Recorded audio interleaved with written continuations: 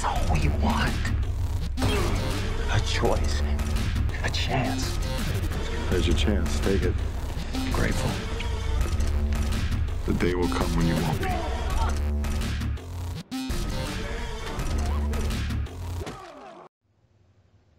Hey, what's going on, guys?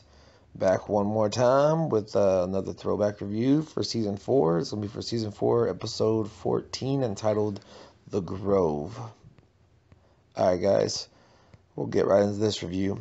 Uh, episode starts out with Carol and Lizzie keeping watch at night while Tyreese and Mika sleep on the railroad tracks. Lizzie asks Carol if she is used to having kids. Carol says that she had a daughter who didn't have a mean bone in her body. Is that why she isn't here now? Lizzie asks. Carl, Carol nods. The next morning, Tyreese estimates that they're several days away from Terminus.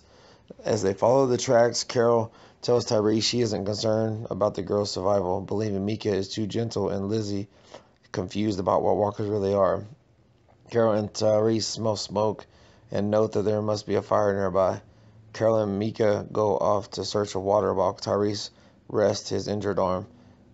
A walker advances on Tyreese and Lizzie but falls into a gap in the tracks, trapping itself. As Tyreese readies his hammer, Lizzie begs him to spare the walker's life. Sometimes you have to kill them, she admits, but sometimes you don't. Meanwhile, Carol implores Mika to toughen up. Mika insists that she can kill walkers but won't kill people because it's wrong. Carol says Mika will die if she doesn't change. They discover a house in the middle of a pecan grove. Carol suggests that they stay put up for a couple days. Carol and Tyreese case the house for walkers as the girls wait outside with Judith.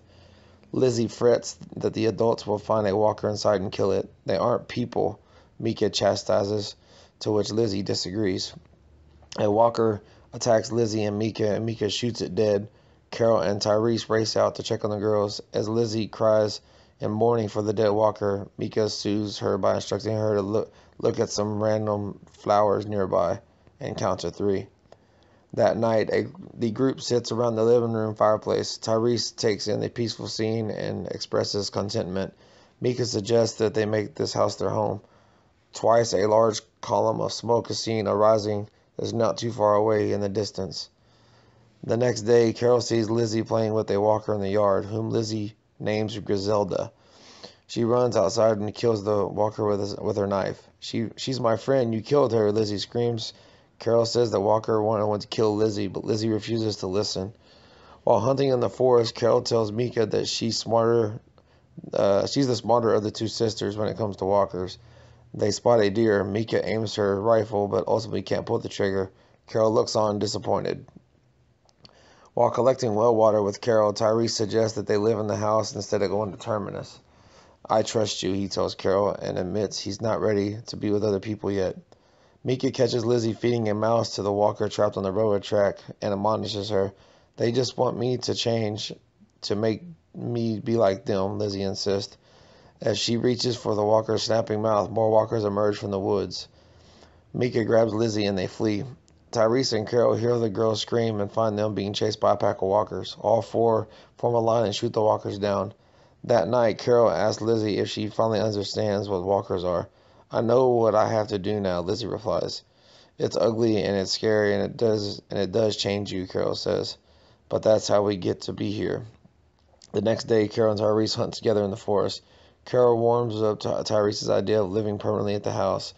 Tyreese then admits that he's haunted by nightmares of Karen and the person who killed her. Misinterpreting Carol's discomfort as empathy, Tyreese hugs her. Carol and Tyreese arrive at the house to find Lizzie standing over Mika's dead body, a bloody knife in her hand. Judith lies on a blanket nearby, still alive. Don't worry, she'll come back, Lizzie says of her sister. I didn't hurt her brain.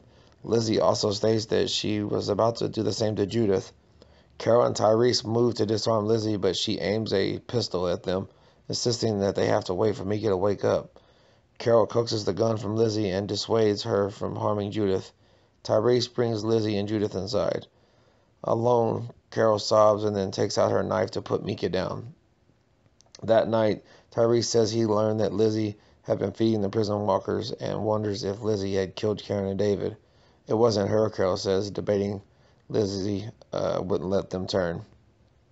Tyreese suggests that He leave with Judith to protect her, but Carol sees the one and only option for Lizzie. She can't be around other people, she says, meaning that Lizzie should be killed for her own safety. Carol takes Lizzie for a walk as Tyreese watches from the window. Please don't be mad at me. I didn't mean to point the gun at you, Lizzie wails, sensing Carol's mood. Carol tells Lizzie to look at the flowers and takes out her revolver. Carol pulls the hammer back on her revolver and after a moment pulls the trigger. Afterwards, Carol and Tyreese dig graves for the girls in front of the house. That night, Carol gives Tyreese her revolver and admits that she killed Karen and David. I had to stop the illness from breaking out, she explains, inviting him to do whatever he needs to do. Tyreese grips the table, trying to contain his rage. I forgive you, he finally says. But I'm never going to forget, he continues. It's a part of you now. Me too. The next day, Carol and Tyreese leave the Grove with Judith and resume their path down the railroad tracks towards Terminus. Alright, guys, that was the quick little rundown review of uh, Season 4, Episode 14, The Grove. I appreciate you checking this out. As always, guys, uh, like, comment, and most importantly, subscribe, and I will see you guys in the next one. Welcome to Woodbury.